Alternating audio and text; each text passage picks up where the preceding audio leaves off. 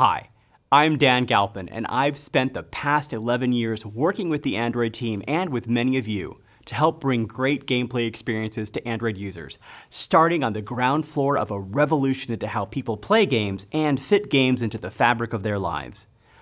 Android users have many device choices from our hardware partners with a range of sizes and capabilities, and we've been working hard to help you make your game available to as many of these devices as possible while streamlining your game development. Let's begin with what we're doing to streamline your development. Most Android APIs are designed to be called from managed code in languages like Kotlin, while game engines are primarily written in C and C++.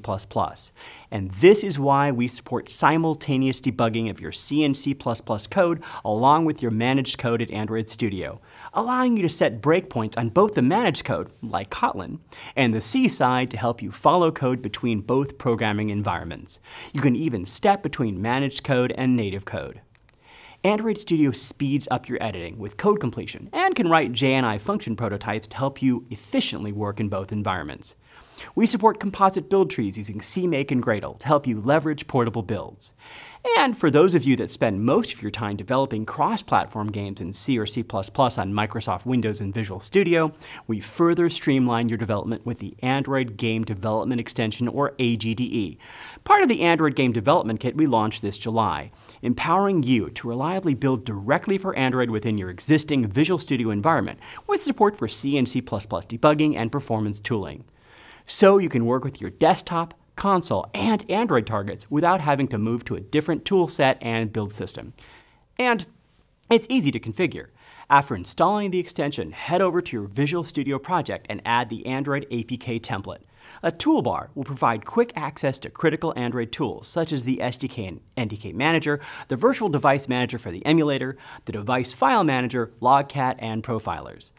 AGDE integrates with multiple build systems and your Unreal Engine workflow, effectively allowing you to use the same tools to build and debug for desktop, console, and Android. And most importantly, once the project is set up with an Android target, Android development works like any other Visual Studio target platform. You can build, deploy, and debug. With debugging, you can set breakpoints, step into disassemblies, look at registers, view values within memory blocks, and view concurrency through parallel stacks.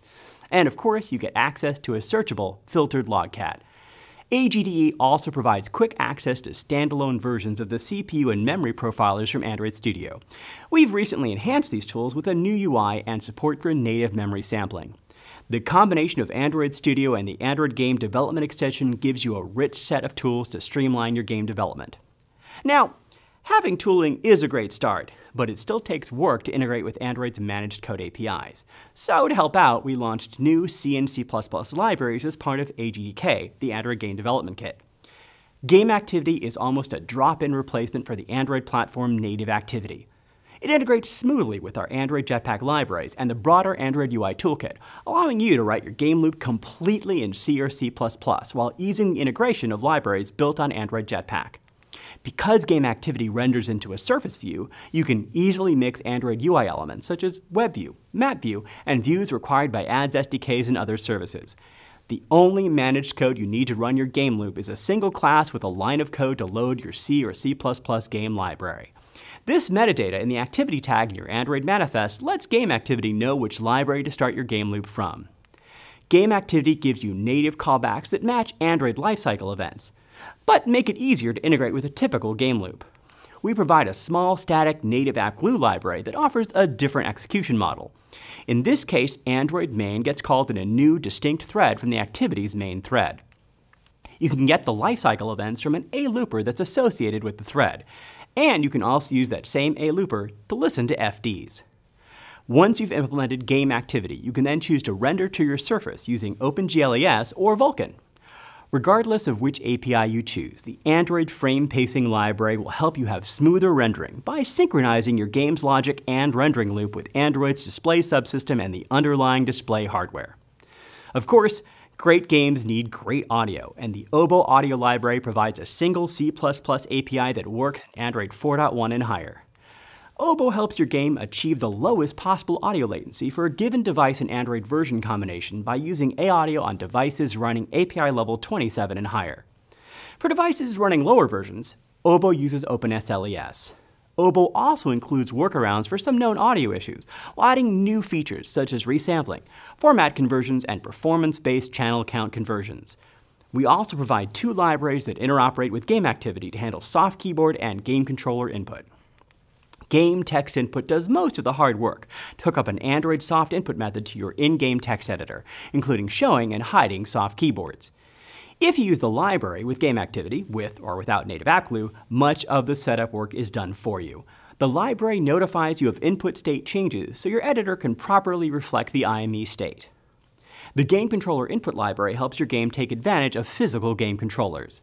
It notifies you when controllers are connected and disconnected, giving you information about the button layout, axes, and other key controller metadata. It does a bunch of the heavy lifting to normalize how controllers respond in Android to make it easy for your game to work seamlessly with the most popular controllers out there, and it even supports mouse input. Supporting controller, mouse, and keyboard input is one way for your game to reach more screens, but reaching the most screens means thinking outside the little glass and metal box. How about TV? If your game can work with basic D-pad input and operate in landscape mode, it can reach many TV devices.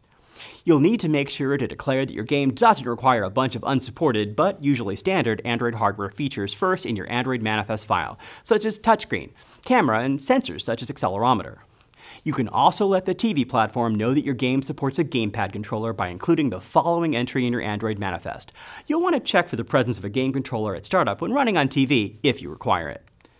Chrome OS is now the number two desktop operating system with a growing community of game players, and it runs Android games and has the Play Store. Chrome OS devices also work best with titles that can support rendering in landscape. While many Chrome OS devices have touchscreens and ones without touch will emulate many touch features using a mouse or trackpad, directly supporting mouse and keyboard input can improve the experience. You can capture the mouse or trackpad cursor for precise controls on API level 26 and above. Of course, you'll want to do the work to take advantage of the physically larger screens on tablets, foldables, and Chromebooks. Ideally, you want touch elements that your user will be interacting with to be a relatively constant physical size across the different screen sizes and densities, particularly the size of virtual controls. You can get the display metrics for the current display, and then you can get the density in pixels per inch for the X and Y axes for precise scaling. You can also get an approximate scale factor using dm.density and dm.scale-density, where 1.0 is 160 dpi. Scale density is used to help Android apps scale fonts according to user preference, and if your game uses it, your users will thank you. Now, you might have a maximum density that you want to target for performance reasons.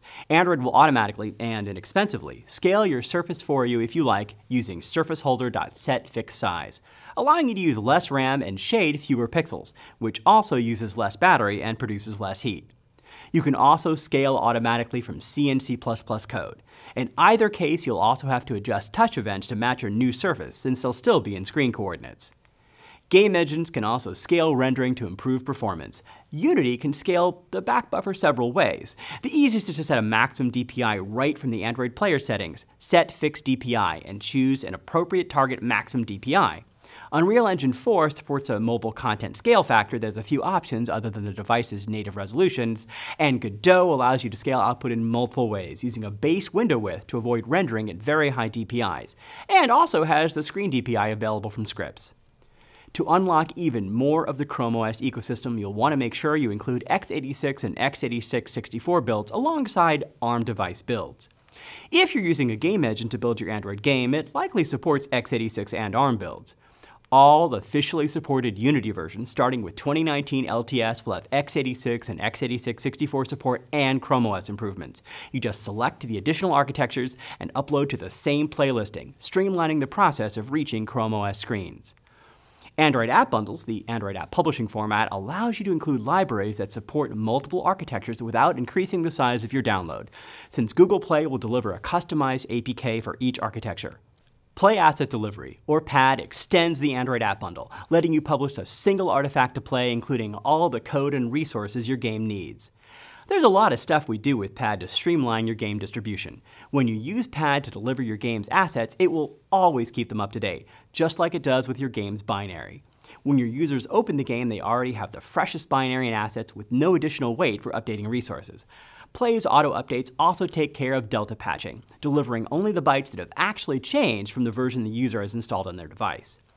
Pad supports multiple delivery modes to let you optimize your download into assets that need to be there when your game first loads, assets that can quickly follow that download, and assets that will be downloaded on demand. You can separate the content in these asset packs by texture compression format, and Play will serve the most appropriate textures to each device, ensuring the most efficient, highest quality textures to allow your game to work best on the most screens. And we're working on device tier targeting, which will allow you to further subdivide your asset packs by device tiers. You tell us which devices belong to each tier, segmenting them by their RAM size, model, or another hardware trait you might choose, such as the physical screen size, to allow you to extend your reach with smaller, more efficient downloads. Now we've covered getting your game functional across a wide range of hardware, with reasonable density choices, optimized textures, and more. In parallel with this work, it's important to be measuring performance, so you can see how your choices are paying off and increasing your reach, and what you should focus on next to target the widest user base. Android Performance Tuner, or APT, is also part of the Android Game Development Kit libraries. It unlocks game performance insights within Android Vitals, giving you a way to both measure and optimize the graphical fidelity, loading time, and frame rate of your game across the Android device ecosystem, all on real devices with real users. The APT library relies on tick functions being called for each frame.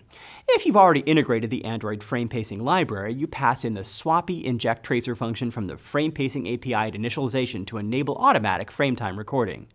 If you're using Unity, you can import our custom package and configure it from the window Android Performance Tuner setup menu. You'll then initialize it from your app settings script. See our Unity Code Lab for all the instructions. Once you've done the basic integration, the next step is to define annotation parameters and tie them to quality levels, scenes, or other areas of interest in your game, and make calls in the appropriate places to inform the APT API. If you're using Unity with the Android Performance Tuner plugin, you'll automatically get a scene annotation that maps to the current scene being played, a loading state that you'll need to hook up in your scripts, as well as a UI to define additional annotations. In a C or C++ engine integration, you define these annotations using a protocol buffer. Check out our code lab for more on how this works.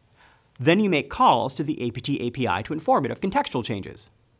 Once you've got the library integration and annotations in place, you enable the Android Performance Parameters API in the Google Cloud Console to start collecting data.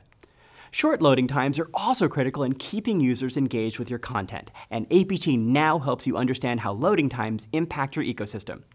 Start recording loading time creates a loading time event associated with a given metadata and annotation, and fills in a handle to be used with the stop recording loading time function. While stop recording loading time is used to end a previously started loading time event, the event will be uploaded at the next session flush. Loading time events contain metadata to help us correctly characterize your loading issues, such as whether it's the first time your app is run, a typical cold start, the app coming up from being backgrounded, or whether a new level is being loaded. It covers the loading source and the network type if it's a network load. You can also add additional annotations to your loading time recordings to help you pinpoint performance problems.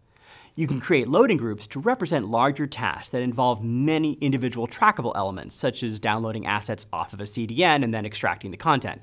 And these groups can also have annotations. You can see, for example, what is causing a specific scene to load more slowly than you expect. Now that the Android Performance Tuner integration is complete, your metrics will show up as part of Android Vitals within the Google Play console.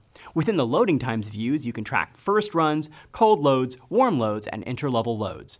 You get insights into whether users start abandoning your game because of overly long loads, and you can drill into data to see which devices and annotated levels might be problematic.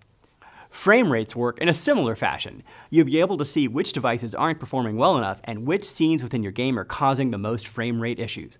Most importantly, you'll be able to prioritize your optimization resources to have the greatest impact on your user base and get your game to as many devices as possible. To help you make better decisions about devices, geographies, and testing or optimization across the entire lifecycle of your game, we recently launched Reach and Devices in Play Console.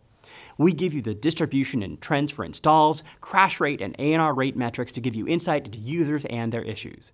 You can explore these distributions across a number of different dimensions, such as SoC, System on Chip, and Graphics API, OpenGL and Vulkan. You can compare your own data with peers to spot opportunities in your current games and plan for quality reach in your next game before you start development. We give you country filters for more precise launch and expansion planning, and you can export this data. So, Now that you know which users and devices to optimize for, what else can you do? Well, last year we released the first beta of Android GPU Inspector, our tool to give you a trace of events from system activities and high frequency hardware counters while your game is running, plotting all this on a timeline, similar to our systrace tool. We then added GPU memory support, OpenGLES support through Angle, new supported devices, and the Frame Profiler, which allows you to deep dive into a single frame, providing timing information breakdowns at the render pass level. It also lets you explore textures, geometry, shaders, render pipelines, and more to let you analyze and better understand what's going on in that frame. And we're working with OEMs such as Samsung and Oppo to add more supported devices. All devices released with Android 12 will support AGI out of the box. So now that you're reaching more screens, it's time to allow players to seamlessly progress through your game no matter what device they're currently using. The Play Game Services SDK gives you a convenient way to sign in your players and save their game progression. This enables you to retrieve player game data and allows returning players to continue playing from their last save point from any device. You can also integrate popular gaming features such as achievements and leaderboards. We're continuing to invest in Play Game Services with an updated sign-in API, now in early access that allows for a one-line implementation. We've also simplified user setup, combining the Google Play Games install and profile creation into one step, so people can get back to their game more quickly, even when they don't have Play Games installed. We're also streamlining the process of opting into auto sign-in for an even smoother experience for returning users. And starting in 2022, Play Game Services will no longer require installing the Google Play Games app. This will allow 2 billion users to sign into your Play Game Services enabled games with a zero-touch experience.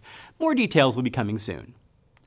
We're committed to making Android a great platform for both game developers and game players, and that extends to Android 12. Select Android 12 devices will support game mode APIs that allow your game to respond to whether the user wants the best overall performance, balanced performance, or the best battery life. It's likely that your work in making your game adapt to various device classes can be used to respond to user preferences. For your users, Pixel 6 integrates the new game dashboard experience which offers control of the game mode along with gaming utilities, such as frame rate counters and integrated YouTube live streaming. Android 12 also includes Play As You Download to reduce download friction and allow users to start playing your game faster. To support it, you need to be using App Bundle as your distribution vehicle and avoid doing operations that do assays of your assets before they're being used, such as some older ads SDKs. It's been quite a journey over these past 11 years. I've both enjoyed working with you and getting to play your games. And I know that game development isn't easy, but we're doing more than ever to support what you do throughout your development journey beginning with great tools to streamline development, libraries to simplify Android integration and solve deep technical challenges, flexible distribution that allows you to take best advantage of device hardware across a wide variety of form factors, and tools, libraries, and services to allow you to analyze performance across your user base and give insight into how best to target your resources. To learn more about what we're doing for game development on Android, check out our Games and Android Game Development Kit documentation. Subscribe to our Game Developer newsletter to get regular updates on everything we do. And to get the fastest updates, be sure to follow our Twitter and YouTube Android developer accounts. Thank you for building great games. And I look forward to seeing where your creativity will take us in the next 11 years. And let us know how we can continue to help.